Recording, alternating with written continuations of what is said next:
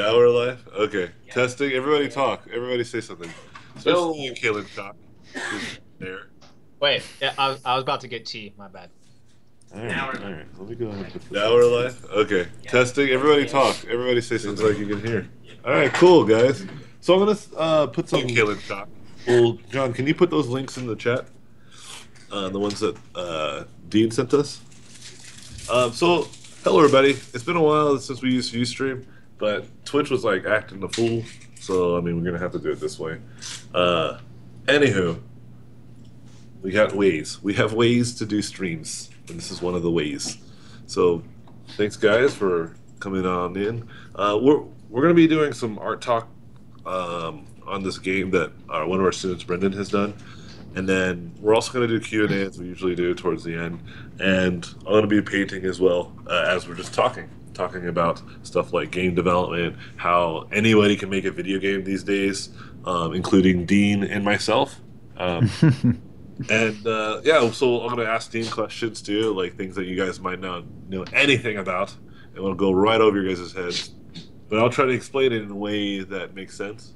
Um, like we were talking before, right? Like I, I explained it. In, in a, in a way that I think could make sense for those who do not know anything about like blueprints or coding inside of the actual um, in the actual gaming engines. But it's all good. It's all good. So I got some screenshots. Um, I don't know if you guys can see what I see. I don't think you guys can. Oh, actually, you know what? You guys can join the the go-to meeting. That's actually a great idea. Um, just make sure you guys mute your mics as you're engines. in, or But it's all good. for phone It's all good. So I got some screenshots. Yeah, sure. I don't know if Yeah, you so guys you- can you see click what on I that see. link, I don't think so you please guys join can. my meeting, Oh, actually, you know what? You guys can join the, the go-to meeting. meeting. That's Um, actually a great you idea. guys should be able to see what that actually goes Just make sure you guys actual- mute Right, okay. your I thought gaming on Twitch. engines. I was But it's all good. Yeah, it's all good. So I got some screenshots.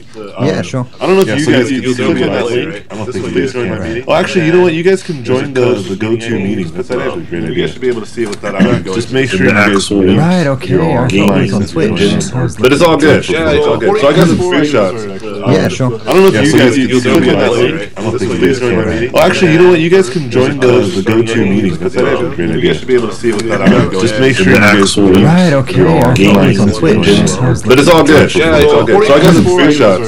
Yeah, sure. I don't know if you guys you- can you see click what on I that link. I don't think you you guys can. meeting. Oh, actually, you know what? You guys can join the the go-to meeting. That's a great idea. guys should be able to see what that actually goes Just make sure you guys actual- mute Right, okay. I thought it was on Twitch. But it's all good. Yeah, it's all good. So I got some screenshots. Yeah, sure. I don't know if Yeah, you guys you- can you see click what on I that see. link. I don't This think way you you guys join my Well, actually, you know what? You guys can join the the go-to meeting. That's actually a great You guys should be able to see what that actually goes Just make sure you guys mute Right, okay. I thought it was on Twitch. I was But it's all good. Yeah, it's all good. So I got some screenshots. Yeah, sure. I don't know if you guys you- can you see click what on I that see. link. I don't This think way you you guys join my Well, actually, you know what? You guys can join the the go-to meeting. That's actually a great You guys should be able to see what that actually goes Just make sure you guys mute Right, okay. I thought it was on Twitch. I was But it's all good. Yeah, it's all good. So I got some screenshots. Yeah, sure. I don't know if Yeah, you so guys you- can you see click what on I that see. link. I don't This think way you you guys join my can. meeting. Well, actually, you know what? You guys can join the the go-to meeting. That's actually a great You idea. guys should be able to see what that actually goes Just make sure you guys mute Right, okay. I thought it was on Twitch. I was But it's all good. Yeah, it's all good. I got some screenshots. Yeah, sure. I don't know if Yeah, you so guys you- can you see click what on I that see. don't This think way you you guys join my can. meeting. Oh, turn off the audio off your. Uh... Actually, you know what? You guys can join the the go-to meeting. That's actually a You idea. guys should be able to see what that actually Just make sure you guys mute. Right, okay. I thought it was on Twitch. But it's all good. Yeah, it's all good. So I got some screenshots. What's- Huh? Wait, is it from yours? Are we good now? Yeah, it should be good now. Yeah. Okay. So yeah, like I was saying, it's um, it's a, a s- a strategy game where um, um, it's based on a Japanese version of chess, and um, we're trying to take that board game concept and bring it into a video game. Um, yeah, we've got lots of different things that we can do in a video video game in comparison to a board game. Like um, we can really immerse you into that world, and we can tell tell little bits of lore about the characters and develop like um, huge lore around each of the factions that you're playing, and also display things much clearly than you can in a board game. So yeah, that's what we're going for, and um, if you if you want more info on it, it's probably best just to check out our Kickstarter video. It's all explained there. Yeah, that sounds cool, man. I'm down. so it's just basically like an epic ass like uh, board game, right? Uh, I was like chess like board game. Yeah, chess like board game, but we've put a massive emphasis on the character design and trying to make the armies look really cool and have like cool stories behind them. And they all have their own unique movement and um, feel to them when when you're facing off against each other as well. Yeah, cool. So let's look at some of the artwork that uh, Brendan had did for it too, just because we are mostly like an art like inspired thing, you know. And so Yeah. Let's go ahead and look at what we got. Let me see if I can go through here. Brendan did all of the character models for the game. Yeah. Add a boy. Yeah. Add a boy. Yeah. So how was that? How, how did that go? Because I know remember we, we had a conversation like about months ago about Hmm. like how it was difficult to kind of well because normally you in production you would have a concept artist hmm then your modeler, but you were like the concept artist and modeler. Yeah, I was pretty much like the guru, you know, of the characters. I, uh, Dean and I like did a lot of development about you know what, you know what the character is, like the starting point. You know, like well this like the archangel is you know this and this and this. All right, well, what do we want to show about that? It was really cool because we got to, um, you know, really develop the characters from the very, very get go, and we didn't have a bunch of producers breathing down our necks. You know, be like, oh well, we have to merchandise this shit, so you know, you have to make sure that it's got big boobs and blah blah blah. You know, so Well, uh, let me just say, she needs some big boobs. yeah, she, I think she So- needs a little. Well, you made mistakes. You made grave mistakes. We did have a conversation about the penis at some stage. butt. Yeah, yeah. I Um, was like, whether well, to cover the penis or um, leave it leave it dangling. did, did you see that? Uh, I forget what game it was, where they had like penis physics, and it's like uh, one of the skins, like it's totally like dynamic penis flopping around. It's crazy. so silly, man. Uh, yeah. No, it was it was really cool because uh, Dean pretty much just uh, came up with a basic idea, uh, and then from there I got to play pretty much every single part of the character developer all the way through. You know, um, anywhere from just blocking out the the model in ZBrush and you know coming up with different shape language to really portray like what type of chess piece this is. You know, like is this the little pawn piece that's uh, you know over in a corner, or is this like the main super bishop? You know, um, so we got to uh, implement a lot of those things into the character development as we went. So it was really cool to just kind of bounce ideas off of Dean and you know you know back and forth and just you know hey does this work does that work what do you think of this uh, and then you know these pro- these blockout models like this uh, the Archangel um, you know couple days maybe two days to block that out Wow. um, it was really nice because and you just you know boom boom boom hey you know this is what we think uh, let's change this and this uh, and then kind of move forward so Uh, oh, sorry to interrupt. Uh, yeah White Kalen joined the conversation. We Yo. can't your face yet. Yo. Kalen. You have to say a noise. You have to make a noise. Okay. What? there you go. no one can see your face. Only me and everyone knows in the conversation. You son of a bitch. so I now guess- we have a full party, man. We can go on a I raid. guess Kalen's face. Oh, there you go. There's your face. All right. Kalen Chock's face. yeah, we're in the middle of um, talking about uh, my, one of my students and uh, his buddy's game that they're working on. They're using Unreal Yeah. 2. So, like, we're. Uh, Unreal 2, that's old. we're, we're going super old school man you stupid. I had a feeling you were going to say that too as soon as I said that. Who's Dean and Yeah. Brendan? They are using Unreal 4 2. Oh, so you wait. So Dean, Dean and Brendan are the guys making it, or yes, we are. They're, yeah. they're making this game, yeah. So they, they actually yes sir launched a uh, Kickstarter and everything. Here, you can check oh, it out. sweet. Yeah, you can check Well, it nice out if meet you guys. I'm Kalen. how you doing man Hey, And so, Yeah, we're we're a pretty small team as well, so um, it's just three guys working on this game. So, like Brendan said, he had a um, basically the whole of the characters um, were his responsibility, and that's kind of what you get when you're working in a small team. You have to kind of um, fill the gaps, so to speak, because you're not going to have every base covered with your with your skill set. yeah. yeah, that's Or uh, you're gonna have to expand your skill set. Yeah, definitely. expand your skill set, right? That's just a little right Yeah. it's a great way to learn stuff because um, like if you if you've got a game to make there's no going back you can't say oh i'll leave that for later you need to learn how to do it you need to learn how to solve that problem Yeah, yeah and and uh, you know, uh, oh wait, you just sent me the Sketchfab link. Yeah, fresh off the boat. fresh off this boat. Yeah. for it to load. For anyone who uh, is ever into indie development um, or like in 3D modeling or of anything of that sort, I highly recommend you use this uh, site called Sketchfab for 3D models. Um, I, I know a lot of indie developers use this thing, and it's freaking awesome. Basically, you get to see the, the, the concept. Can you guys, uh, Caitlin, if you go, I don't know if you can see what was written earlier in the conversation. Here, let me let me just show it. I don't think You link it. So, uh, Kayla, when you join the uh, the go-to meeting, you'll see that there's a link in the Skype chat. Yeah. Um, you just come in and just turn off your audio, pretty much, because you can just hear me through Skype. You don't have to hear me through the go-to meeting or through um, anything other than that, right? And then uh, turn off your mic too when you join. But you just click on that link. It's going to ask you to download some sort of temporary file, and then you just put in the meeting ID. Yeah, Okay. and then you can see my screen live instead of going to the to the actual Oh, okay. Wait. So it says. Okay. yeah, So you just says- click that link, and it's going to ask you to put an ID, and the meeting ID is right there, four two eight. Yeah, but th- but it didn't ask me that. It asked me to select audio. No, what you're saying is on GoToMeeting, just don't use any audio at all. Yeah, because we're in uh, Skype. Yeah, there's no reason for it. Um, so this is cool, man. Yeah. This is to scale. Yeah. He's as big as like a an action figure. Yeah. Super action figure. Yeah. It's a GI Joe man. Yeah, this is cool, man. I love this. I love this place, man. Like, there's like um, there's people who only live on Sketchfab, and Yeah. they like make like 3D compositions, like like illustrations. Like when you first click on it, it looks like a 2D illustration, but then you can like you know zoom around and look at it. It's cool. Mm. Yeah, it's really cool. That's crazy. Yeah, you they just use this more often, especially for uh, yeah. any of your 3D. Don't look up his skirt, dude. Come on. Really? Uh, yeah, you Oh, It's look at not his dick. So this is not. You know what, guys? Don't back their Kickstarter because there's no dick. modeling. Uh, I made a grave mistake.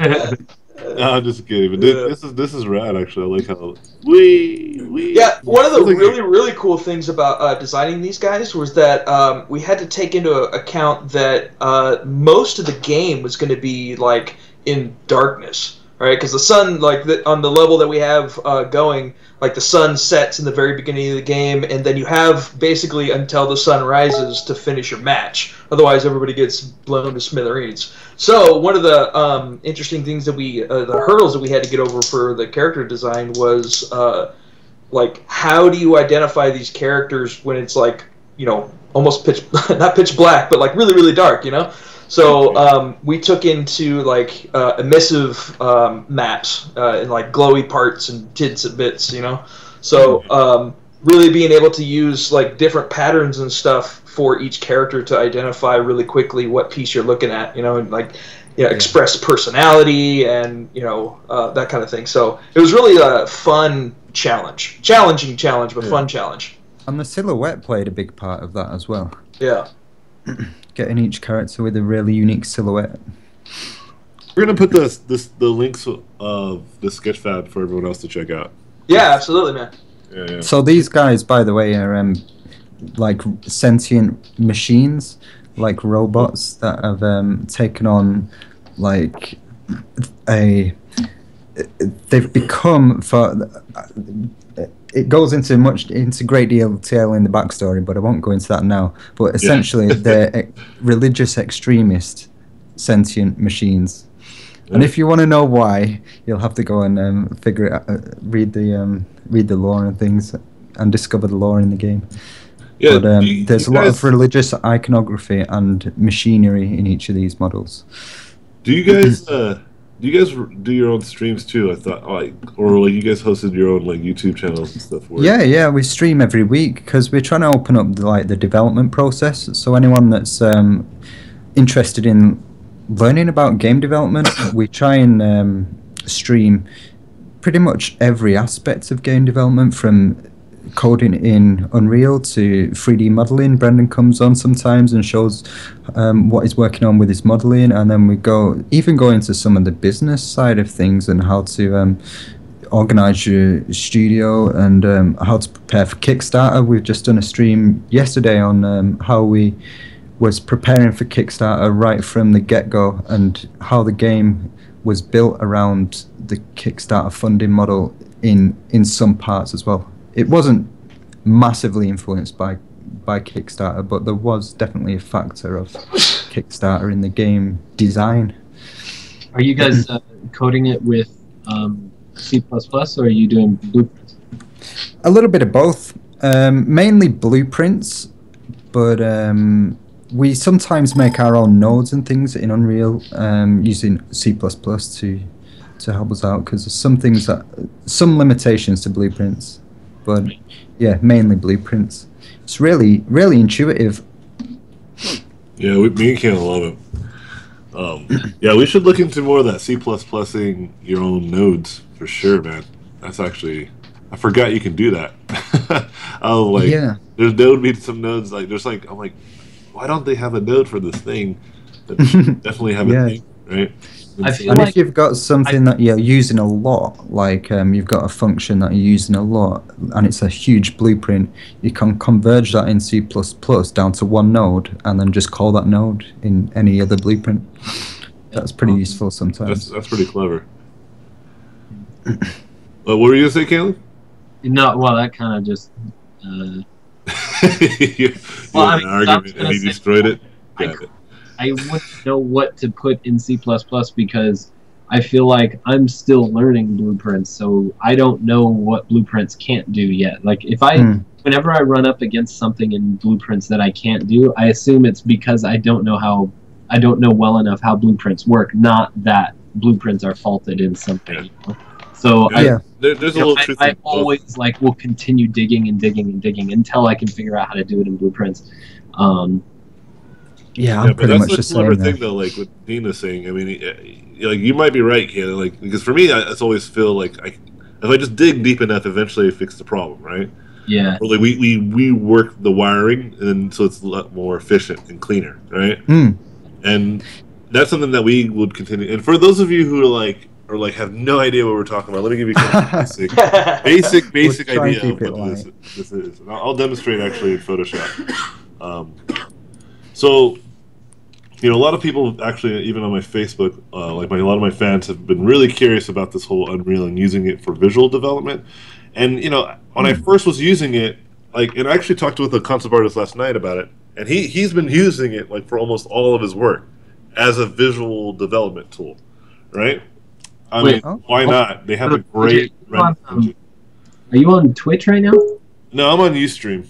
Oh, okay. Twitch wasn't working, so we're on UStream. Um, uh, John, can you send him the link? Um, so, yeah, so when I when I first started using Unreal, I was like just modeling basic geometry. I mean, I'm sure some of you guys remember what I was doing with Lab. That was pretty much my experiment with the visual um, visual components of uh, Unreal.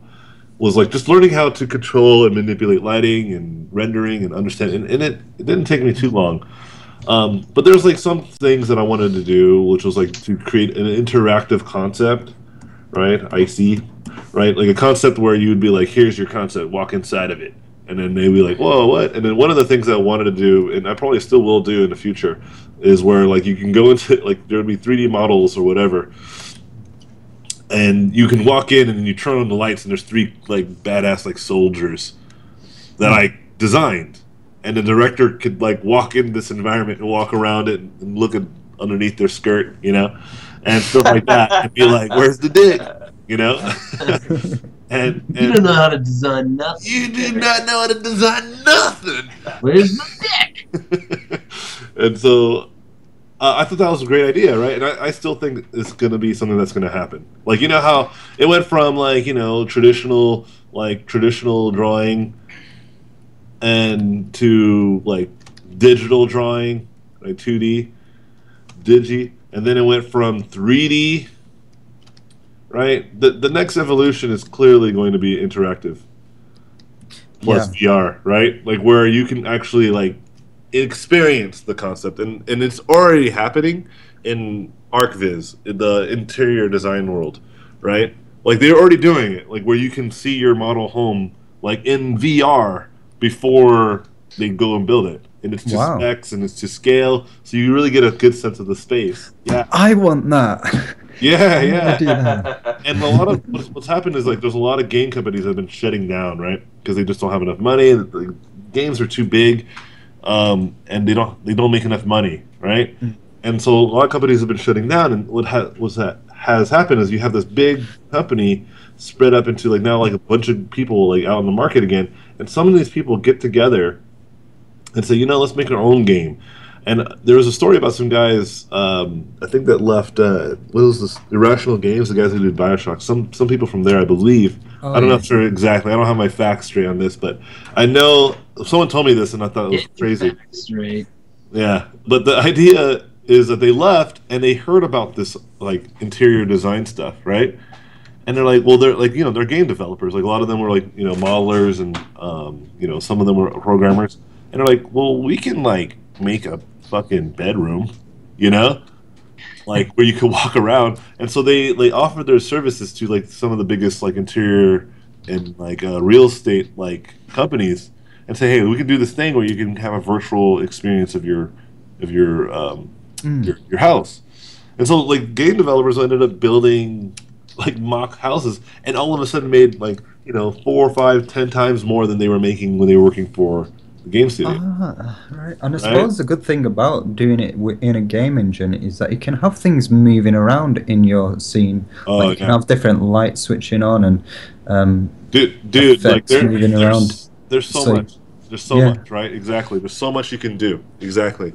And and so, anyways, when I first started, like that's kind of like so I used Unreal to to because I'm a visual guy, right? So I used it you, Hmm. initially as a visual tool, and then I went to like, well, like as we were talking and getting back to kind of where why I even wanted to start talking about this and try to get people context. Blueprints. Basically, Unreal has created this system, a node-based programming system, where you would have just a bunch of nodes that connect to other nodes that create some sort of logic that can make something like turn on a light by pressing K, right? And Always my favorite test button. yeah, K, Get that is right. mine. Get that right. K and F. I'm starting to like F because it's right next to WASD. But anyway, you, you can input whatever you want. That's the beauty, right? Like K. And so, you know, something like that. And I was doing that. I was like, hey, I can turn on a light. What else can I do? I was like, I was moving a box. And I was like, well, what else can I do? If I can move a box, then I can make a door open, surely, right? And then all of a sudden, I was like making a video game, right? And I was like, whoa, like this is not as hard. And I'm not trying to say that it's easy. It's just not like like dauntingly hard. Like programming before was just fucking words. yeah, yeah, and that was. Words that aren't even like they're like columns. You know, like you have to it's like not approachable, is it? yeah, you have to like scroll all the way down to or have it on a different tab or you know it's like it's it's clearly like if they they made it I think like when you showed me the Note plus plus whatever Notepad Note plus plus like that was a lot more intuitive, right? But before they didn't have color coded for the logic or anything either. Mm. So everything was just like plain black and white text for miles, right? And if you make one mistake, it doesn't work. If there's one grammatical error in a code, it doesn't work. But with Yeah. nodes, And and uh, there- there you can't time- make those mistakes. Yeah, and there was a time where you couldn't even see where that was at. You just had to li- literally read all your code, right? Obviously, coding has gotten so much easier. Like like I said, Oh, yeah. have ways for you to find the where the bug is at in the code. But but yeah, like you were saying, like you, as you were saying, like Blueprints makes it so they tell you exactly where and what node, and it's it's visually based, so you can see almost see exactly why it's wrong Hmm. right? Like you'll you'll test out a like you'll test out a series of things. So I'm going to try this with this, you know, with this node, and then I'm going to try with this node, and then do this. So technically, it should do the thing that I wanted to do, and then you Yeah. press play, and then all of a sudden it doesn't do it, or it does like a like a weird version of what you wanted to do. Hmm. And you, but then when you see it, you see like oh, like I wanted the box to stop moving when I pressed K, but since I have these two like nodes, like there's no condition to that. The the game has no way of knowing that that's what I wanted to do, Hmm. right? and like we were talking before the Skype conversation, like blueprints and and I think coding in general, to me is like it's become very clear. It's and it's very clear about like telling the game what not to do, more Yeah. than just telling it what to do. Like it's easy to tell it what to do, but it's reminding it also, please don't do this or this or hmm. that. Yeah, Don't like, even like I was telling you Don't about. even think about that. Yeah. And now, Yeah, I finally got my guys to ragdoll. I was like, oh yeah, this is awesome. I'm gonna. Like, that's all I wanted to do was make a game where you could just like push people off of buildings. Did it. oh, it's a dream come true. I can actually do this. So I did it, and and I so I made it so that when the guys die, they ragdoll, and then um, they go like, you know, flying across the landscape. But then I noticed that, like the hit noise kept happening, like no damage, no life was coming off of me because they were like fighting me, but no life was going down. But that noise kept happening, and I was just like, what? What is that noise? Why does it keep doing that? And I realized is because when you tell something to ragdoll, you just tell the mesh to ragdoll. That says nothing about the rest of the player, Yeah, yeah. So- Yeah. or, or the So rest. I'm- Or I'm visually de- demonstrating too what, what that looks like, Hmm. right? Like so, so here's like the ragdoll, right? And that is a mesh, but this is like the capsule node or whatever, like whatever is representing like There's meshes, still, like, collision, life, all that stuff. Still exists. It still exists. So like it's ragdolling, but there's like a thing, and it's like bouncing off of stuff, and it's it's like Yeah. it can even it probably can still be alive and like chase Kalen is like the ragdolling thing. So basically, what Kalen had to do was like when something dies, also tell it that it's really dead, please. You know.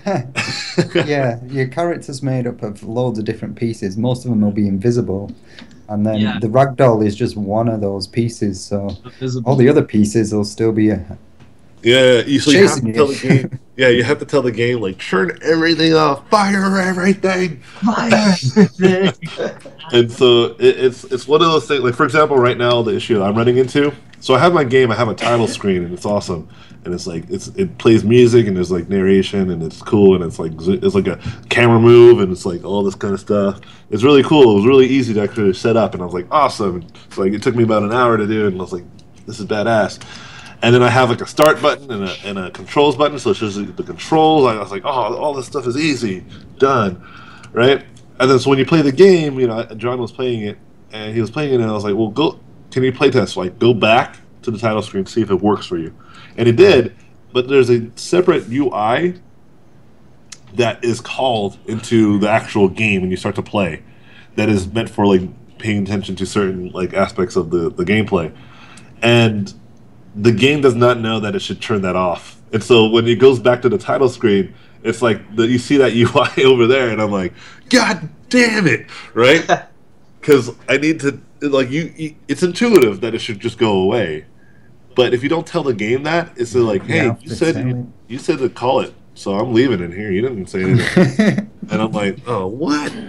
You know, and I'm and my, my fist is in the air and everything, right? And so, and that's what I was working on right now, and it, it's so so funny. Something as simple as that, like turning that off, like it's clear to me that it's going to take me probably another like half an hour to an hour just to make that thing work the way I want it to work without Mm. it crashing the game.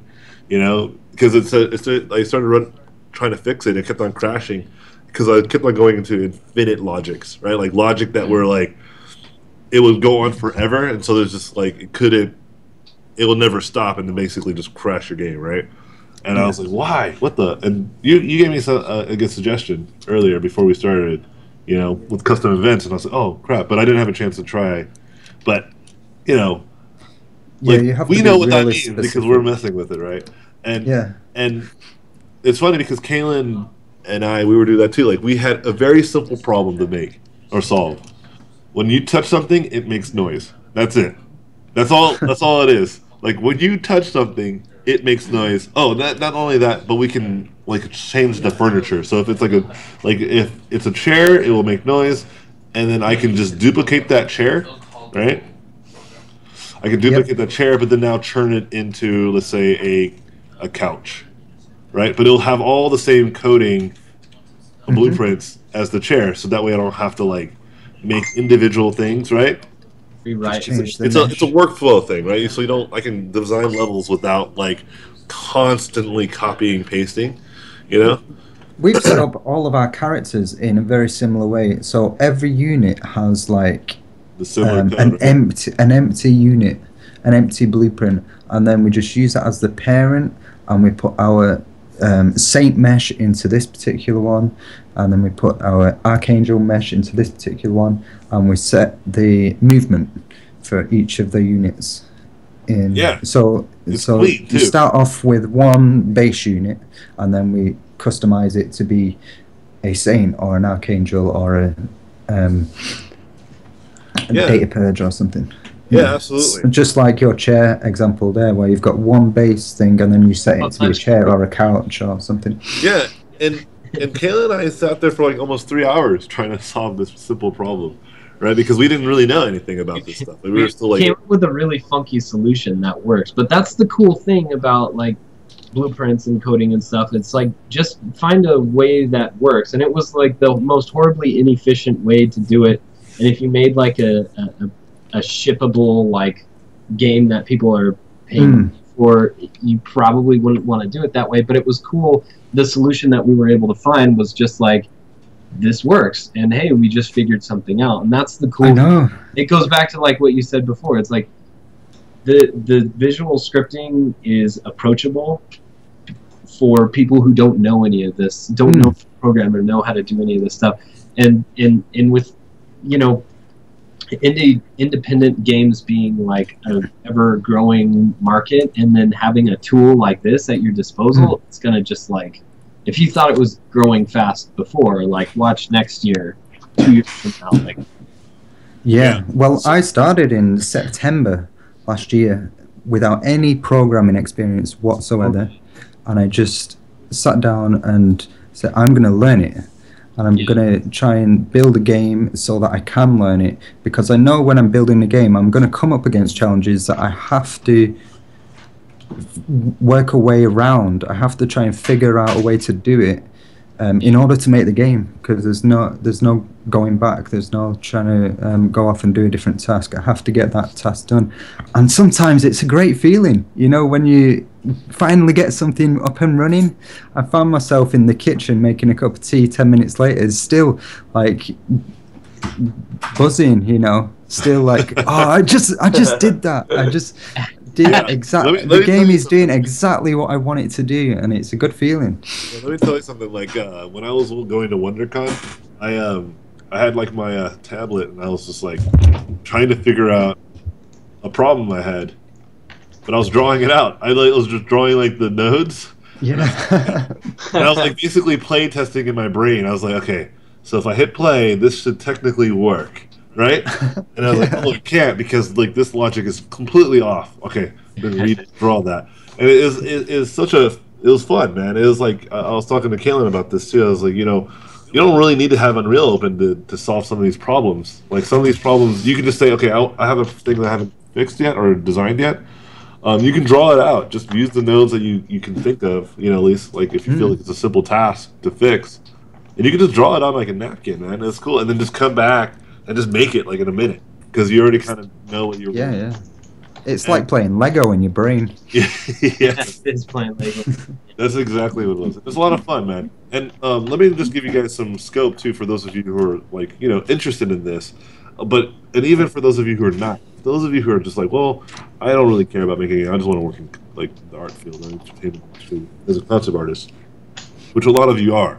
Um, they are like releasing some of the like the next like best tools to help you develop a amazing like world like with very minimal effort, you know, Hmm. and like they're they're patching 4.8, and it's going to basically like there's that the open world trailer. Have you, have you guys seen that with the kite and like Yeah, it's- yeah, it's that's a beautiful trailer. amazing.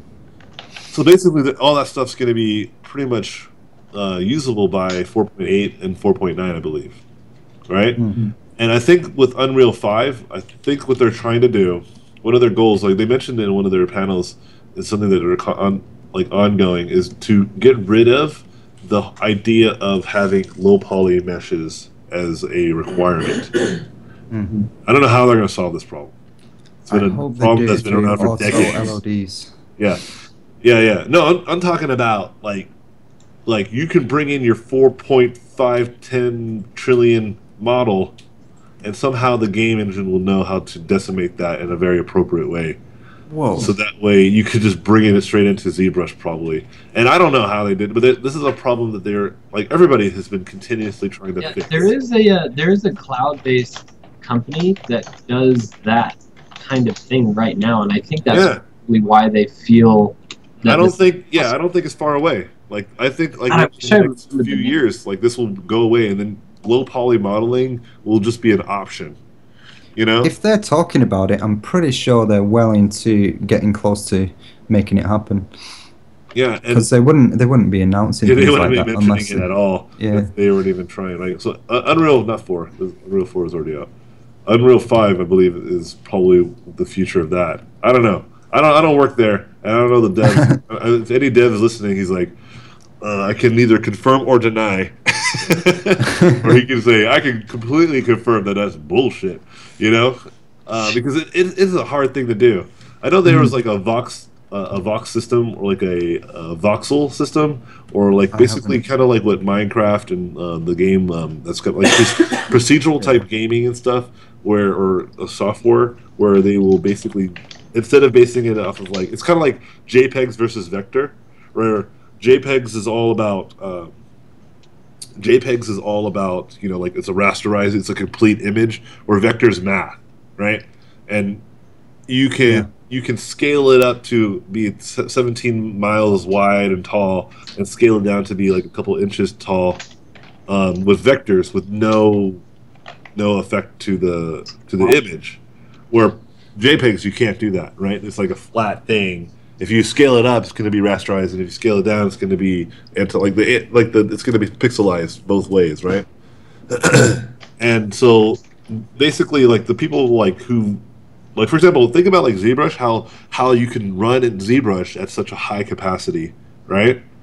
Um, and that's a modeling software. And so something somewhere along the lines of that in Mudbox and some of these sculpting softwares they, they, there is some logic to how that can be created right it's the problem of how to implement that in like a game engine you know how to implement that logic into as like a vector based sense of logic you know what i mean and you that come up with some new new problems as well if you start using voxels. For Yeah. example, animation. If you're trying to animate a a mesh, usually it's got um, a skeletal rig in there and it's got um, UV layers and stuff. But if your model is made of voxels, it's got none of that. It's a, it's little pieces of like almost little atoms. So Yeah, yeah. you're gonna have to try the the pipeline for animation of a voxel mesh would be totally different, and it, it- people have to start from scratch basically trying to work out how to animate yeah if they But if it- they're switching to voxels. but it will change the face of gaming man Oh, like, yeah, it'll make definitely. games look just as good as the cinematics or just as good as movies you know what i mean and it it'll change the interaction between things in games as well. Instead of just having a solid thing like a mesh, voxels you can take pieces off because it's made up of pieces. So you can like Yeah. blow holes in them and um, like real like real blow real holes that look like real Yeah. Ah, or you could make your model with an actual skeleton inside with muscles um, on the outside and skin and then as you um, I don't know, as you pierce through the model or if you chop a limb off or something. We're getting a bit gruesome gonna- here. I'm But gonna you'd be able it. to see all those layers. i'm gonna call it i'm gonna give this 10 years and this is I where say three. I'm gonna, I'm gonna say it's a standard like it's going to be Yeah, I said like three, three oh okay Three years. What, what, well, let's let's get some. Oh, now you guys make me feel like I'm stupid. Gonna be more. All right, how about how about five? I'll go for Yeah. five. You're going five. What about what about you, Kill? What do you think? Like where you can just have like straight up doesn't matter. This, this number doesn't matter anymore. Polys isn't a thing anymore. Just how big. It, it just Oh, where polys aren't, aren't relevant anymore. Oof. Whoa. Yeah, three, whoa. three. Now, you- now you're in saying my three? world. Three. All right, I'm adding one Check more. out Shinra. Shinra Technologies. They've almost cracked it. All All right. I'm gonna minus one here. I think this all depends on if there's a drought in California or not. Like if we run out, of that, that actually does it. Yeah, that- Yeah. that's something there. It, it's funny because think about what what was going on five years before, like, like, exactly. like Yeah. five years bef- like ago. Yeah, like there wasn't really iPhones. Like iPhones were just coming out. Yeah, That's what I'm saying. like ten years ago, you yeah, ten years ago there was no YouTube. Yeah, Well, think Think about, like, it's, it's crazy to think that like back in my day, which was like when I was twenty, No. there was no YouTube. That's crazy. I, I I'm not I'm still a young dude, and I can say Yeah, like a huge technology did not exist in my lifetime. You know? A lot of us are um, dads here, aren't we? I've got a little kid. He's um, three years old, and I'm thinking he's going to grow up not knowing that um, like a touchscreen is quite a special thing. Not, Yeah. he's going to grow up with all that technology just as standard. Yeah, it's gonna be It's like- everywhere. Like it's gonna be Yeah. like on your car door. It's gonna be on like your. It's gonna be on your skin. You know, it's gonna be in your contact lenses. It's gonna be What's dope. funny about that? It's like we okay. Well, so we've got a GoToMeeting open, Skype open, UStream open. I've got all those three things open on my computer right now, and I'm also doing some like UVing on on a, uh, model in my. all of this stuff as we t- as we speak. But the like the live phone call that I'm having with like how many of us are in here? Like five, six of us. Some of us on the other side of the planet. Some of us on the other side of the planet, and and that Yeah. is completely not important to me. I don't, I'm not even looking at your guys' faces. I mean, Hmm. Kalen, Kalen is the only other person with his face up. I'm not even yeah. looking. And I don't. uh, Put that smile. Not even looking at But it's so funny that I take all of this for granted now, and it took zero Yeah. time for me to get totally used to it. But it was funny, like uh, like a couple of Easter's ago, we were having this like Skype conversation with my cousin who was like on the other side of the world, and my whole family's sitting down like, oh, let's use Skype, and my grandma had never heard of this ever before, and as soon as the video call started she, everybody was like talking like oh hey how's everything in spain? And yeah yeah yeah all this kind of stuff. And my grandma was just like Demon technology. her, Are they it's like talking her to head the was TV? ex- this is the jetsons you know like we were doing something that was like in james bond in the 60s and all this kind of stuff and we all thought this like oh it'll never actually happen I know. but we all kind of take it for granted now it's so Yeah. weird it's really cool, isn't it? Well, how long do you think it's gonna take for like this, like the, basically like infinite polys, or polys is gonna be irrelevant Yeah, basically? years. You gonna say three years too? Kalen, both Kalens, what do you guys think? Brendan, you probably have more knowledge on this than any of us, Brendan. Yeah, I'm actually I'm actually really really scared uh, because you know polygons is like everything right now. So to go to this whole like voxel system, like it's just it's a whole paradigm shift for everything that I've learned over the last you know. 20 years that I've been working on this crap, you know. I'm, I'm Well, actually really that's why you scared. get your sculpting skills, man. Because that's I know, the man. thing, right? Yeah, yeah, yeah, yeah. I'm gonna say I'm gonna go with um, you know, I'll meet you at four. I'm gonna say four years. Oh yeah. i'm gonna i'm gonna price this right all of you guys Yeah, three point five. I'm gonna, you know, I'm gonna, I'm gonna, I'm gonna go uh, with. I'm gonna say like two years. We're gonna start seeing people mess around with this stuff because Two years, huh? Yeah. Well, I mean, if you're talking about like fully featured, hey, integrated into Unreal, indie studios, yo, go ahead and start doing this stuff. It'll probably be a while, but I Yeah. think like you know maybe ILM might be messing around with stuff like this. Autodesk might be some stuff like this somewhere. You know, I some Disney. who knows. Yeah.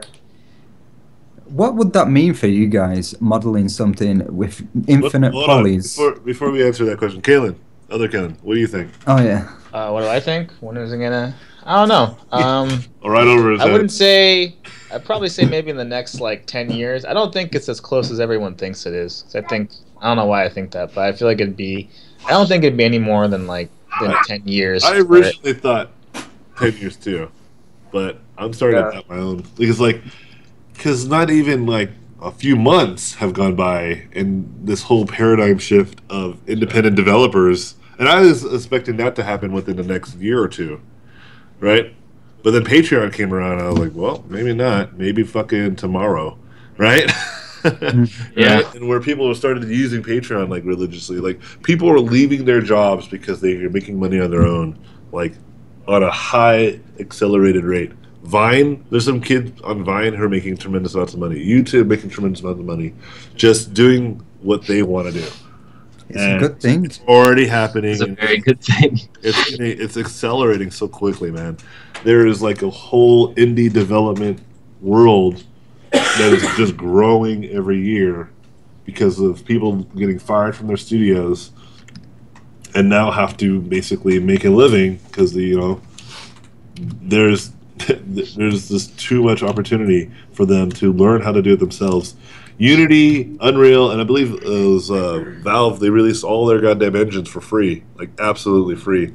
And you Yeah. know, CryEngine and all the, like Fox Engine are all probably going to follow suit pretty soon as well. You know, especially when the numbers start coming in, when they see all these little indie developers. That what if you're like the next guy who makes Flappy Birds but use Unreal Engine to do it, right? Or the next guy who makes uh, Clash of Clans, but you use Unity, you know? Or if you're the next guy who built an, another one of these huge goddamn apps, like the next League of Legends, but they were using, you know, um, uh, Unreal, right? Mm. Like Unreal is going to get a piece of that, you know, and they should, man, because their software is very useful and it's very good. Like someone was like, "Well, they're taking five percent of your profits." And I'm like, "Dude, I have a free game engine." I know. Like, I, I, can't- uh, gladly here's what you're trying to tell me. Before I couldn't make a game. It was very hard, or it was very unapproachable. Hmm. At least it was very daunting. And now I have the ability to build a game, and they just want five percent. That's all they want. Like I want them to have my five percent because they're gonna make my game engine better. I basically am hiring a whole team to make the engine in which I love and use to be better. Right? And it, it saves greedy. it saves you money as well because the capabilities that you have, it's so easy to do stuff in Unreal that you don't need to like have a massive team to do stuff. You can have quite you can get really Yeah. good results. Like we've got with Celestial Cleave, that's only three guys that have made that, and uh, we're a lot of us. There's one guy who's got a lot of experience coding.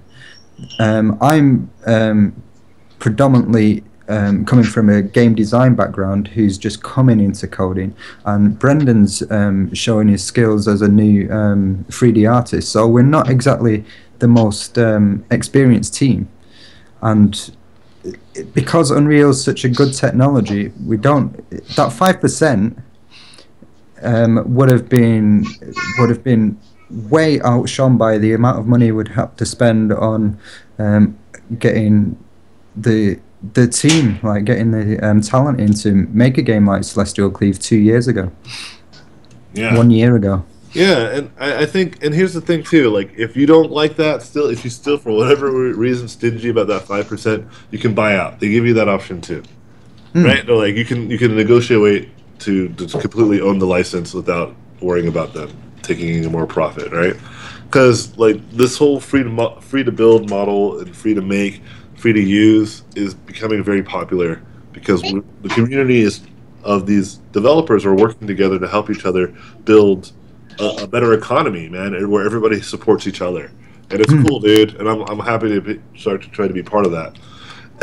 and so, for anyone who's like curious about like making a game, and you're like, well, I don't know, like, like there really is no excuse for you at least not to try, Yeah, because the game engine is free, all of them.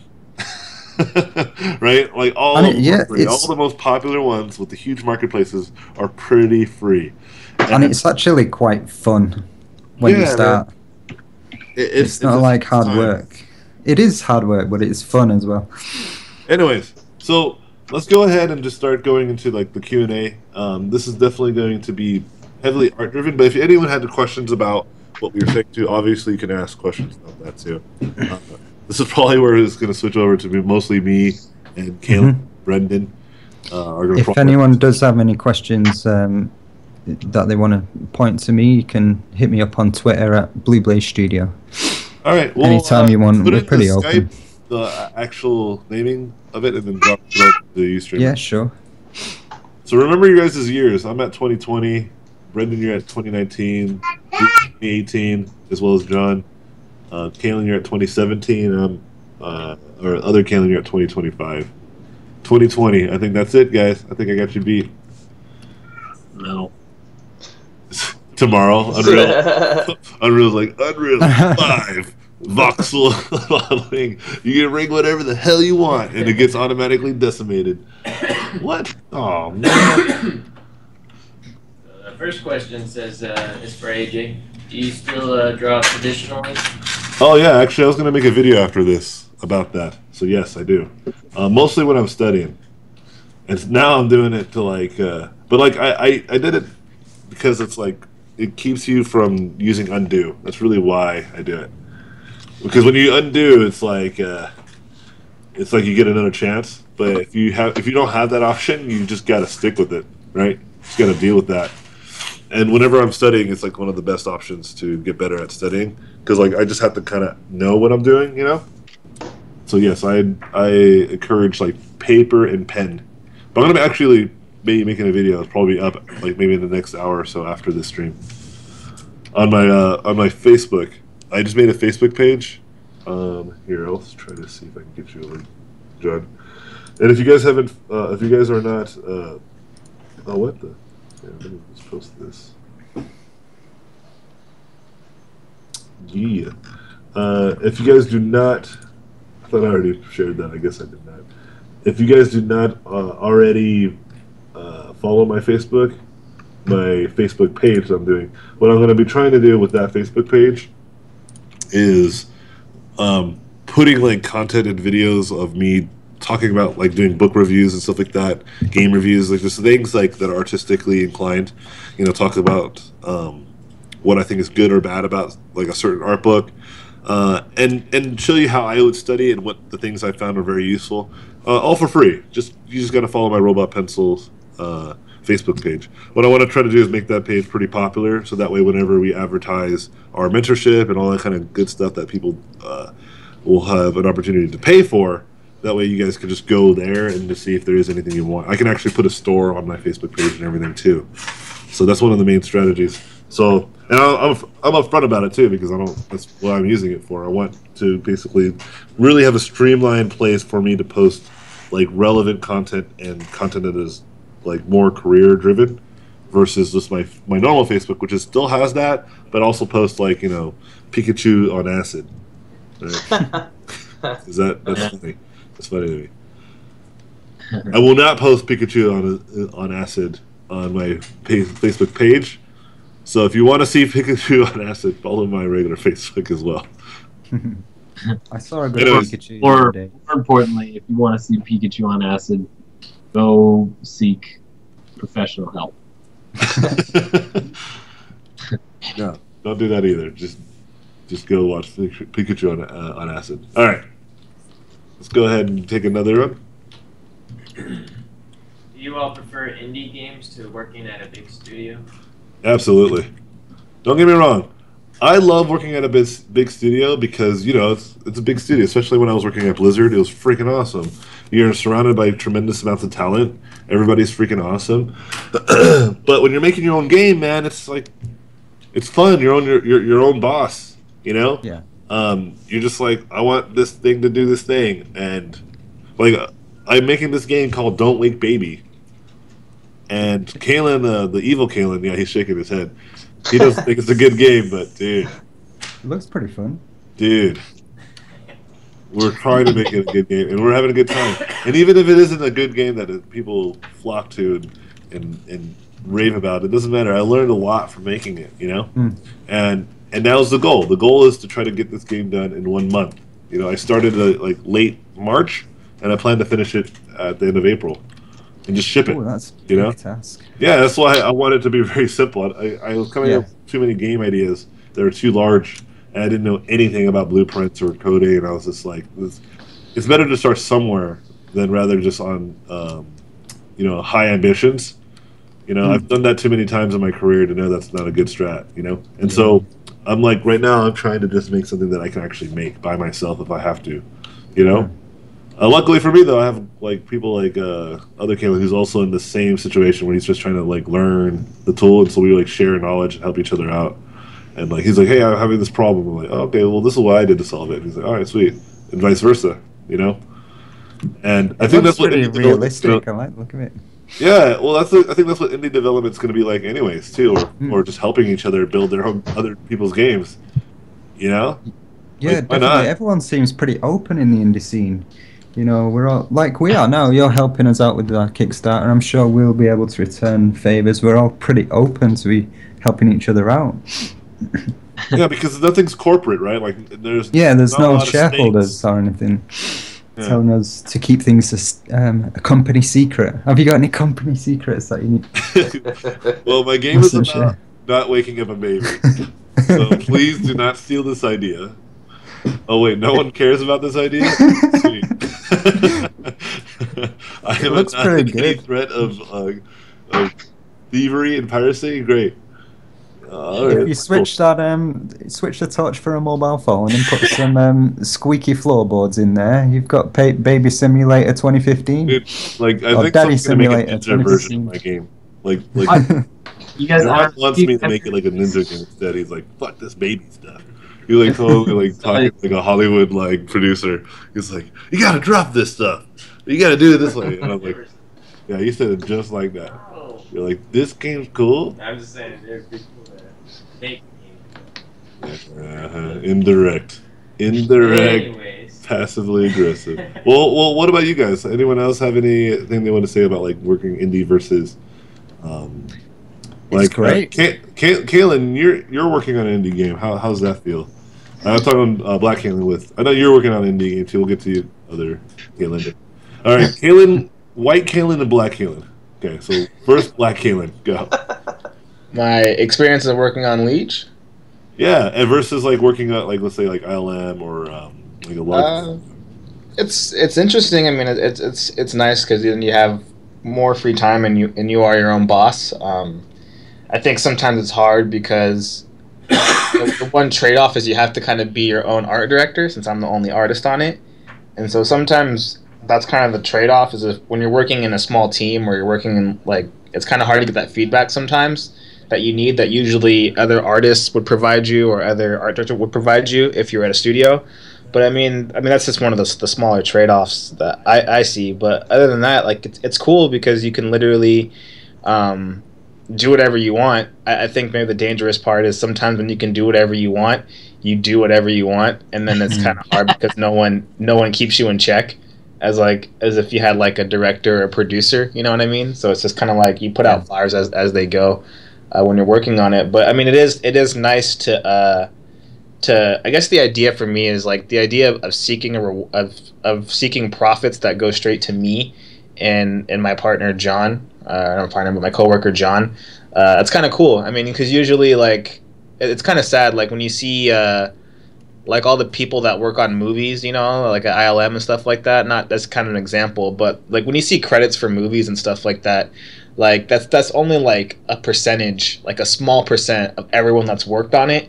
But then like when when the credits roll, kind of stuff like that, they only give certain studios a certain amount of space to like put the top, like the people that worked on it the most. So you can work on it for a while and not even get your name in I a had a credit. supervisor, an animation supervisor on Superman. Didn't even get, or not Superman, uh, Spider-Man Three. Didn't even get credit. An Yeah. animation supervisor. Yeah, and it's like it's politics. A lot of of times it's politics, and that's that's really unfortunate that there's all these people that like. I mean, not that not that we do this for the credit anyway, but I mean, it would be Nah. nice if you if no, you were I getting want paid that for it. Credit. Definitely Yeah. do it for the credit. It is like I do it for the money, but like, you know what I mean? Like, it's Yeah, nice no. to know that when the game is finished, when when we finish it, that it will just say like art, Kalen, and then like, and then you know what I mean? But it's also it's like also everything. it's also scary though because if people like hate the art or hate the game, then they're gonna be like, I fucking hate Kalen. There- So I it's know also like- exactly where to ask for my refund. Yeah, exactly. Like people are gonna come after you. I would say because internet people are freaking mean. But like that that is one of the cool parts is that like you get to you get to receive the reward. You know, because it's sad because and also in VFX, right? These some of these movies do really really well, right? They make millions of dollars, but they don't see that profit, you know, because they're just like a third party VFX studio. So it is nice to know that if I'm gonna grind and work my ass off, at least I know like whatever I get, like I earned it. You know what I mean? As opposed to like some of these like other AAA studios, right? Like that make these big ass games, right? They're paying the artists, you know, an okay salary, and then they go, "Oh, we'll we'll get you on the bonus." You know, when the when the game comes out, we'll get you on the bonus. When the bonus comes out, we'll we'll we'll make up your salary, so don't worry about it. And then the bonus comes in, and it's not what you thought, and they're like, "Oh yeah, uh, yeah, the game didn't do that good, so we don't get your bonus." So like you put in all that work.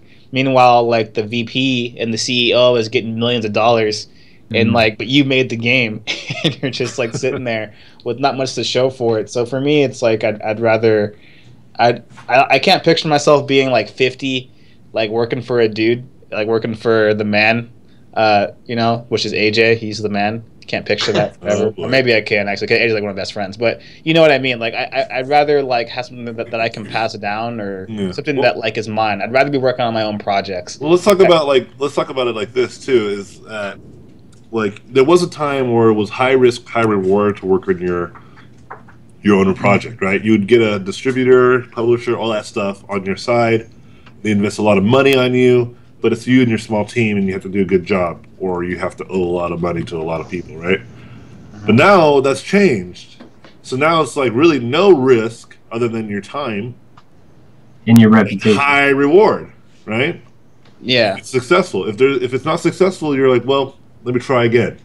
Yeah. Times times have changed for that for sure. I mean. Yeah, the, but there used to be a time where you, you that was a legitimate fear and concern on why you wouldn't want to start your own thing, right? Because like that, because like it's the same thing that you guys are going through. Like you guys have that same situation um, as well, you know, where you guys can really like you get you guys have a very minimal amount of risks at this moment. I know you guys were also looking into getting more. Um, uh, what you call it, uh, investors. But it's like every time you get one more or another investor in, on board, you increase your risk, right? Because that means that's that's how much more the the game has to be successful, right? And I think it's important for anyone who starts their own project, you know, just keep that in mind. Keeping that in mind that you are you are you are potentially going to be a victim of your success or lack of success. The more money that is invested in it that is outside of your own pocket, right? Mm-hmm. Yeah, that's very true. Like we we've had people that wanted to kind of like possibly talk to us about maybe helping us out or wanting to be a part of it. And each time, like John's kind of like, "No, I'm I'm good," and I'm yeah, like, it's got to be a real good deal, right? Where there's like it still keeps you at the low risk, right? Yeah, but it's one of those things where it's like, for us, it's kind of like I know for for John, it's like, well, I just don't want to have to owe anyone anything, so I'd rather just just do it myself, so I don't have to worry about other people. So for us, it's like we're always keeping the team like as small as possible for that kind of reason, and and it's nicer that way because then again, you don't feel like you uh you have to owe anyone. So it's like if you fuck up, the only person's life you may possibly kind of screw up is your own. You know, there's, there's not anyone else. And I don't think you'll screw up too much, right? You just you just devoted a lot of time and you learn a hard lesson. I think that's probably the Well, well, look at look at like Phil That's- Fish, right? Like that guy, like he made the Fez. That was like an amazing game, but everyone hates that dude. like No, then again, I he think kind of that's invited it, but Fish. more to do with Phil Fish than the game. yeah, he, he was a hothead, man. He just could not take criticism. yeah. Just- And so people- like he people he like sold he sold his game because everyone was just like giving him shit, and I'm just like, well, yeah, he, he may not be like the best like the best personality guy, but like I don't pay him for his personality. Like I pay him for Fez. But now he's like not even gonna make any more games, and like I love Fez. That's kind of like it's kind of sad. Yeah, like yeah. don't let I also think that's the um, vocal minority that's giving him shit. I bet there's a thousand times more people that really like what he did and respect him him, for yeah. being an, being an artist and doing what doing what he did with Fez. That is almost it's a always- truly awesome game. Yeah, that is almost always true, man. Like um, every time I see like a video of a dog being rescued or a dog rescuing somebody on YouTube, I'm like, oh, that's freaking awesome. And then I look in the likes and dislikes. There's like twenty thousand likes and like one hundred dislikes. Mm. Who are those people who do not like dogs people. They're just like, fuck that dog. How dare you try to save a man?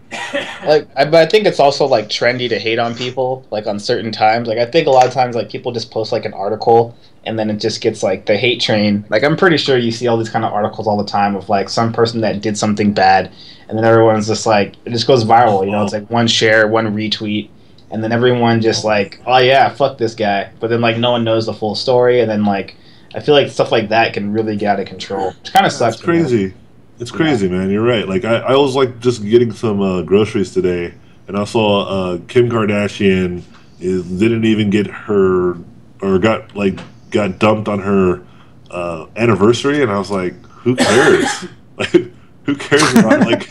I I was just thinking like, and I was like, but you know what sucks about this is like, like I, she gets she sees this, you know. I, I, as much as you may not like The kim Kardashian, she's still a human being, right? She's still a person in this world. She just happens to have all this stuff. Like there's, I know people that are like her that are my friends, you know, like some of my good friends. It's just she just happens to be in the spotlight, right? Yeah, it's, it's really it's really easy it's to like, like it's kind of sad. Like I'm people like, that you well, don't like know. this whole Justin Bieber thing too. Like someone, oh, he's throwing eggs at people's houses. Fucking hoodlum. I was like, I threw eggs at people's houses when I was a teenager. The difference is he's Justin Bieber, right? Like he's Well- not allowed to do that because he has tons of money. Like no, Yeah, I think it's like know when you're nothing in about that spot. Like every every year, there's like that person that you gotta hate, and like it's kind of it's kind of like that South Park with like the uh the Harvest with like Britney Spears. Remember that episode? Yeah. Where like it's so true that like every year there's like someone that everyone just has to hate on, even if they don't know anything about him. Like they don't, you know, and that that kind of it's like scary being in the limelight, being that popular. Like I don't want to be that popular in games. That's what happens to that, that's what happened to um, what's his face, um, the guy with Fez, man. Like that's just what happened. Like he, Exactly. it's So like what Dean he- said. Like if if he would have paid it, like I have a friend that was going through the same stuff, like in the art world, and uh, he he felt like there would be like one out of a thousand people that would say you fucking suck. Fucking you suck. Your you suck. Your artwork sucks. You suck. Everything about you suck. Suck. Suck. Suck. Suck. Right. and he'd get so mad at it, and he'd just like respond to them, and like just go into this long like flame war with you know this complete random person, stranger.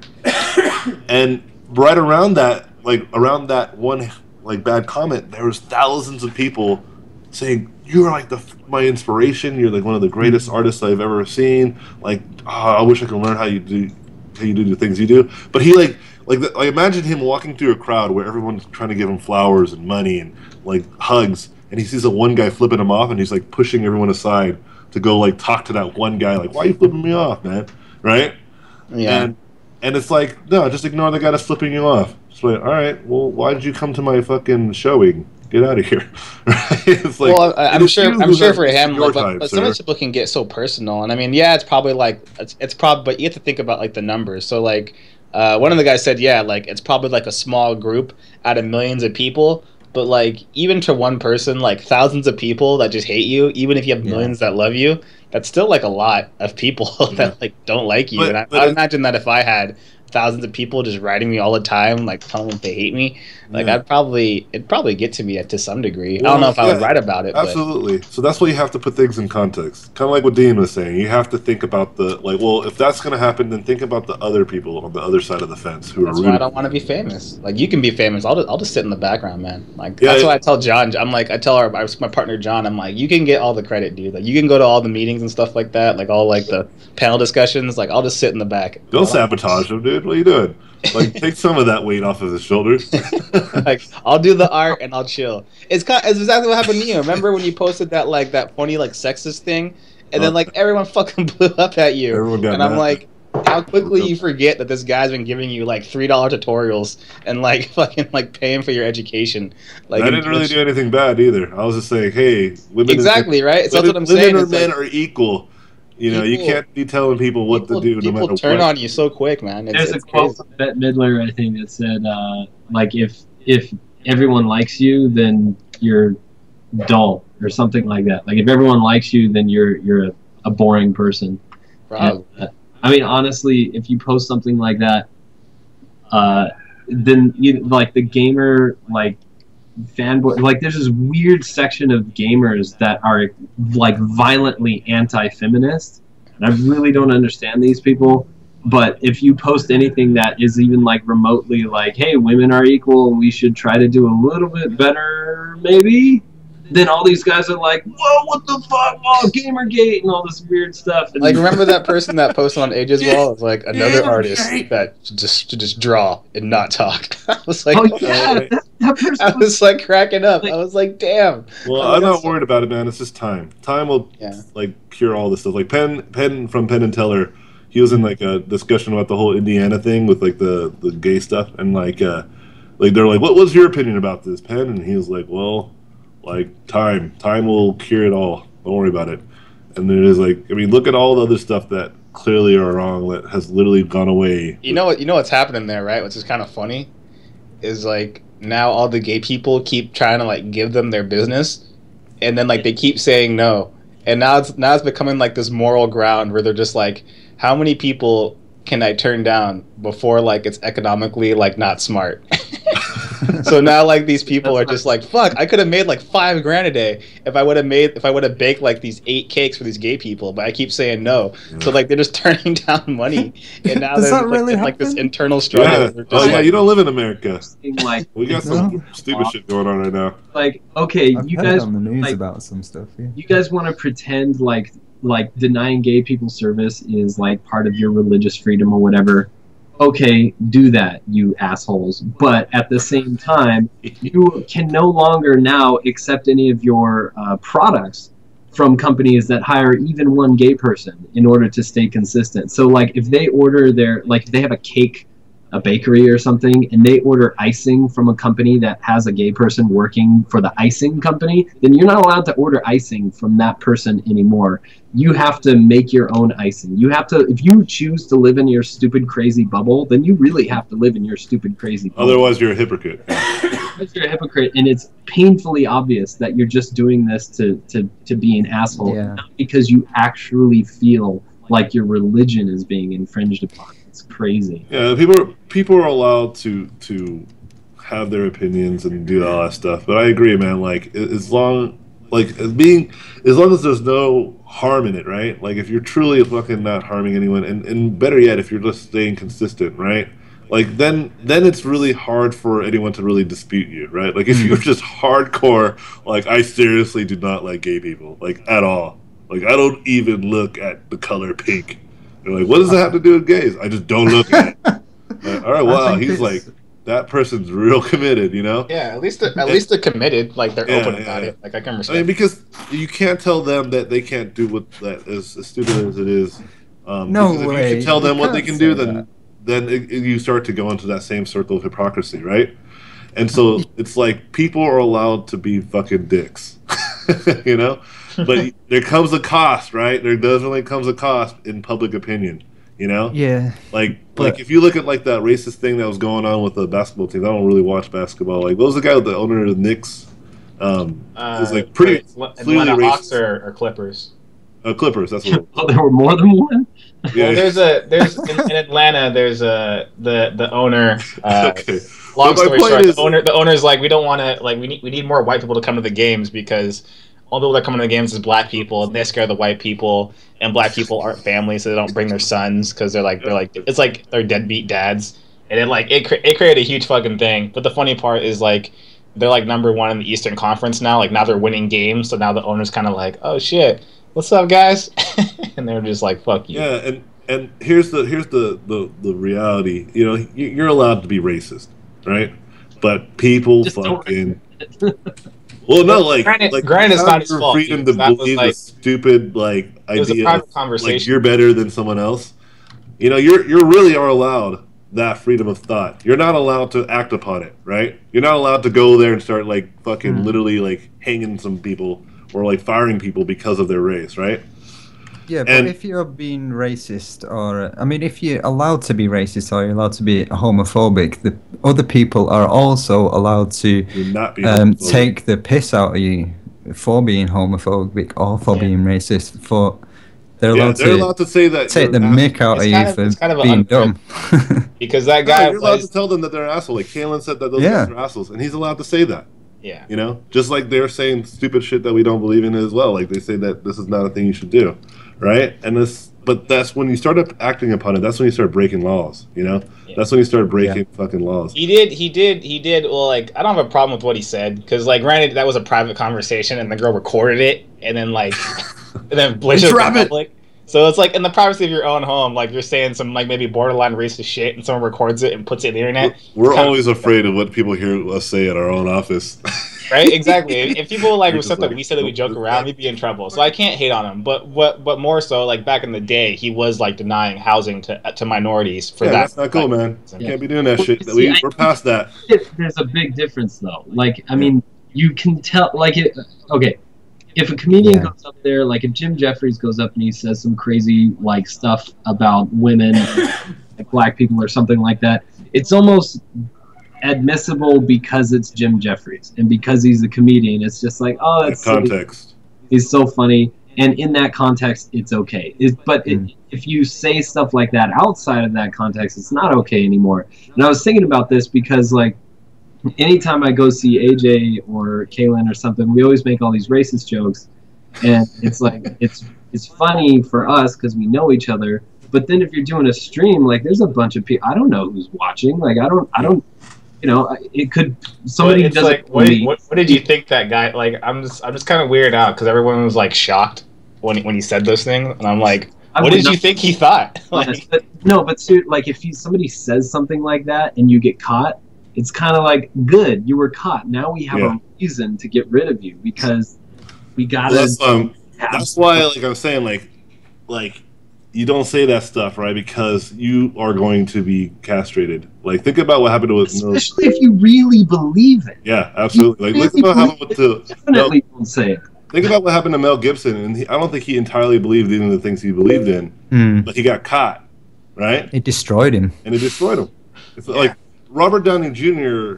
had was an alcoholic and he had or he had like you know drug abuse, but he can come back from drug abuse. Everyone can forgive drug abuse, Hmm. But they don't. No one fucking forgives racism or homophobia, you know that kind of stuff. And that's why like that's what I'm trying to say. Like Penn and Teller, like Penn from Penn and Teller said, like this shit will just all be fixed in time, right? Yeah. Like it just And this also knowledge will just it'll be fixed in time. Just be patient, right? Time and education. Yeah, yeah. And I, I, I, I'm hoping on that and I believe in that, truly. Right? Because I, I'm on the side of like freedom of thought and freedom of expression and people are still thinking this way and this sucks. But eventually, like my kids aren't gonna think that way, you know?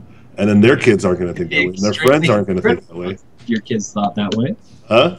you'd be extremely hypocritical if your kids thought that way. They can't. They're uh, they're almost. If if one of if my kid marries, like one of your kids, Yeah. it would be it would come full circle. It would be- Everybody's gonna yeah, exactly. Gonna know or be of some You're very sort close of in heritage of America. Another nation. Yeah, it's like like I like my kids will know gay people, and my kids will have known like will have a dip in every race, right? You know, it's like it, it just it is will be impossible, and like